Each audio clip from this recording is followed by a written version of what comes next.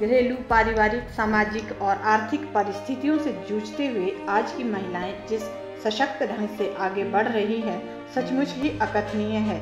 ये महिलाएँ घर में बाल बच्चों की जिम्मेवारी, बड़े बुज़ुर्गों की देखभाल और घर गृहस्थी के साथ साथ नौकरी पेशा और स्वरोजगार अपनाकर आत्मनिर्भरता की ओर बढ़कर एक अद्भुत मिसाल पेश कर रही हैं। कोरोना एक प्राण घातक रोग है और इससे बचाव ही इसकी दवा है।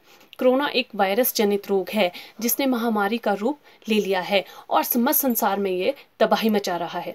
यह इस रोग की शुरुआत जुखाम, बुखार व खांसी जैसे लक्षणों लक्षणों के साथ होती है, जो कि धीरे धीरे आगे चलकर एक विकराल रूप ले लेती है और रोगी के श्वसन तंत्र को बुरी तरह से रोगी के श्वसन तंत्र को बुरी तरह से ये प्रभावित करती है, जिससे कि आदमी की मृत्यु भी हो जाती है। कोरोना से बचाव करने में ही समझदारी है, क्योंकि यह एक संक्रमक संक्रमक रोग है, जो बहुत तेज़ी से एक दूसरे में फैलता जा रहा है। इस संक्रमण से गाँव भी अछूता नहीं है। यह संक्रमण गाँव में भी अपने पाँव पसार चुका है। इसका एक कारण तो ये भी है कि जो लोग बाहर गए हुए थे, वे लोग गाँव में अधिक मात्रा में आ रहे हैं। लेकिन उन लोगों को चाहिए कि वे गाँव में आकर अपना क्वारंटाइन अवश्य पूरा करें। क्वारंटाइन के साथ साथ वे अन्य सावधानियों का भी पालन करें। अपने जीवन काल और अध्ययन और अध्यापन काल के जिस अनुभव को मैं आज आपसे साझा करना चाहती हूँ, वो मेरे अनुभव पिछले लगभग दो महीने के हैं, जो इस वैश्विक महामारी कोविड 19 के दौरान मैंने एक्सपीरियंस किया। और ये आ, मैं एक महिला होने के नाते और समाजशास्त्री समाजशास्त्र का विद्यार्थी होने के नाते जो फील करती हूँ या जो मैंने एक्सपीरियंस किया उस चीज़ को मैं आपके साथ आज साझा करना चाहूँगी।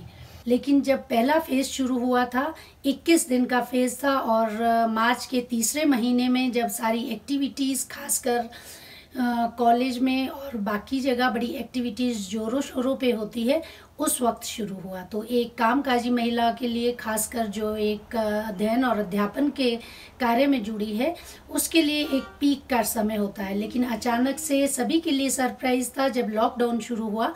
तो उस लॉकडाउन के दौरान जब हमने घर में रहना शुरू किया तो इनिशियल स्टेजेस में सभी महिलाओं ने खूब एंजॉय किया। बहुत सारी नई चीज़ें उसको देखने को मिली। उसका एक रूटीन जो वो हमेशा से चाहती थी कि उसके पास घर के लिए समय हो, परिवार के लिए समय हो, वो समय उसको मिल सका। क्योंकि एक महिला के पास और सभी के पास 24 घंटे है। 24 घंटे में जो उसका समय का विभाजन होता है, वो उसका पर्सनल समय कितना है जॉब के लिए कितना है और परिवार के लिए कितना है। तो अगर उसको एक जगह कहीं समय या उसकी अटेंशन की ज़्यादा ज़रूरत है तो दूसरी जगह से उसको विड्रॉ करना पड़ता है। अगर उसका अदरवाइज़ उसका पर्सनल समय जो है, उसका व्यक्तिगत जो समय है, उससे वो माइनस करती है। तो वो बखूबी से ये चीज़ करते वो इसका, उसका एक सिस्टम का पार्ट बन गया है, खासकर कामकाजी महिलाओं का। और ये सारी रूटीन में पहले उसको उसने बहुत इन्जॉय किया। बहुत सारी रेसिपीज़ किचन में ट्राई की नई नई रेसिपीज़ यूट्यूब से देख देख के डाउनलोड करके नई नई रेसिपीज़ ट्राई की, घर में भी इन्जॉय किया। लेकिन कुछ समय के बाद बहुत सारे जो उसके प्रभाव है उसके जीवन में आने शुरू होंगे ये आत्मनिर्भरता कोई महिलाएँ एक सफल किसान बनकर कोई वाहन चालक तो कोई छोटे छोटे लघु उद्योग जैसे सिलाई कढ़ाई दर्जी बुनकर और इसके साथ साथ शिक्षा और चिकित्सा के क्षेत्र में भी पुरुषों के साथ कंधे से कंधा मिलाकर कार्य कर रही हैं। मैं doctor Nisha Verma Ayurveda medical officer जिला ऊना हिमाचल प्रदेश में आयुर्वेद विभाग में कार्यरत हूँ। जैसा कि आप सभी जानते हैं कि पिछले काफ़ी समय से पूरा विश्व और हमारा देश कोरोना नामक महामारी से जूझ रहा है, तथा हम सभी इस प्रयासों में लगे हुए हैं ताकि इस महामारी से जितनी भी जानें हम बचा सकते हैं तथा लोगों को सुरक्षित कर सकते हैं, उसके लिए हम सब प्रयासरत हैं। मेडिकल स्टाफ, पुलिस बल तथा सफ़ाई कर्मचारी सभी जितने भी लोग फ्रंट लाइन में काम कर रहे हैं, अपना जितना भी प्रयास कर सकते हैं, वे कर रहे हैं। आयुर्वेद विभाग में डॉक्टर होने के नाते मुझे भी इसमें अपनी सेवाएँ देने का मौका मिला। तथा मैं खुद को खुशकिस्मत मानती हूँ कि मैं अपना इसमें योगदान दे सकी और देश के लिए कुछ काम आ सके। लेकिन अंततः खुशी हमें तब मिलेगी जब इस महामारी से हम पूर्णतः निकल जाएँगे तथा सभी के प्रयास जो हैं, वो सफल होंगे। ड्यूटीज़ हमारी चाहे बैरियर पे हों रेलवे स्टेशन पर हों, या अपने ओपीडी में हों तो यही ध्यान रखा जाता है कि लोगों को हम जितना हो सके इस महामारी से हम बचाने का प्रयास करें, चाहे वो हम उनको समझा कर या उनको नियमों का, जो इसमें नियम है सोशल डिस्टेंसिंग है, साफ़ सफ़ाई है, और भी जितने भी नियम हैं, उनके बारे में अवगत कराकर हम लोग इस बीमारी से निकलने के बारे में उनको प्रयास करते रहते हैं। तो मेरा सभी से अनुरोध रहेगा कि जो, जिसकी जो ड्यूटी है, हम मेडिकल फ़ील्ड से हैं, हमें जो ड्यूटी है, हम वो कर रहे हैं। आपको जित, जैसे अभी लॉकडाउन सरकार धीरे धीरे खोलना पड़ेगा, खोल भी रही है सरकार तो मेरा ये गुजारिश रहेगी लोगों से आम जनता से कि अपना ध्यान खुद रखें। सतर्क रहें सोशल डिस्टेंसिंग का पालन करें। जो भी इसके नियम हैं साफ़ सफ़ाई घर, बाहर से कोई वस्तु लाते हैं, उसको अच्छे से साफ़ करके सैनिटाइज करके ही घर में अंदर जाएँ और जितना हो सके गैदरिंग जो है कम से कम करें। नमस्कार, मैं डॉक्टर सुषमा कौशल। मैं एक डॉक्टर हूँ और पिछले 30 सालों से शिमला में प्रैक्टिस कर रही हूँ।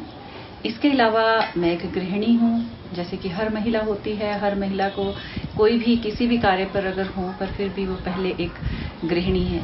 उसके अलावा एक मैं माँ हूँ और एक पत्नी हूँ और मेरा सामाजिक दायरा भी बहुत है। मैं बहुत सारे धार्मिक कार्यक्रमों में या सामाजिक कार्यक्रमों में हिस्सा लेती हूँ एन में भी काम करती हूँ। और आज की, जैसे आज इस प्रोग्राम में मैं महिलाओं को एक सशक्तिकरण, जैसे महिला सशक्तिकरण क्या होता है? महिलाएँ सशक्त हैं और कोविड 19 के टाइम में महिलाओं की ज़िम्मेदारी बहुत बढ़ गई है, दायित्व तो बहुत बढ़ गया है। अपने कार्य क्षेत्र से हटकर भी उन्हें कार्य करना पड़ता है। इस समय, जबकि कई बार घर में काम करने वाले नहीं होते हैं या आपको बहुत समय तक घर में काम करना पड़ता है या बच्चों की छुट्टियाँ हैं या पकवान बनाने पड़ते हैं या घर की सफ़ाई करनी पड़ती है तो ऐसी बहुत सारी जिम्मेदारियाँ आपको निभानी पड़ती हैं। खैर, हमारा प्रोफेशन ऐसा है कि हमें तो कोविड 19 के समय में हमारे ऊपर भी एक दायित्व बहुत ज़्यादा बढ़ जाता है, क्योंकि हमें मेडिकल प्रोफेशन में होने के नाते हमें ये काम करना ही पड़ता है, अपनी ड्यूटीज़ को निभानी ही पड़ती है, और हम इस समय अपनी ड्यूटीज़ से पीछे नहीं हट सकते हैं। अब बहुत सारी महिलाओं को आजकल परेशानी भी हो रही है डोमेस्टिक वायलेंस बढ़ गया है, या इरिटेशन या डिप्रेशन इस तरह के सिम्टम्स भी आने शुरू हो गए हैं, क्योंकि काफ़ी लंबे समय से कर्फ्यू रहा या लॉकडाउन रहा, या एक्टिविटीज़ कम हो गई हैं आउटलेट्स कम हो गए हैं।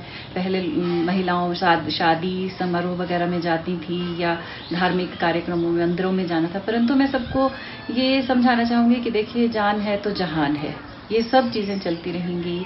आगे से आगे कभी भी हम इसमें शामिल हो सकते हैं। और कोविड 19 के बाद की जो एरा है, वो हो सकता है कोई डिफरेंट हो।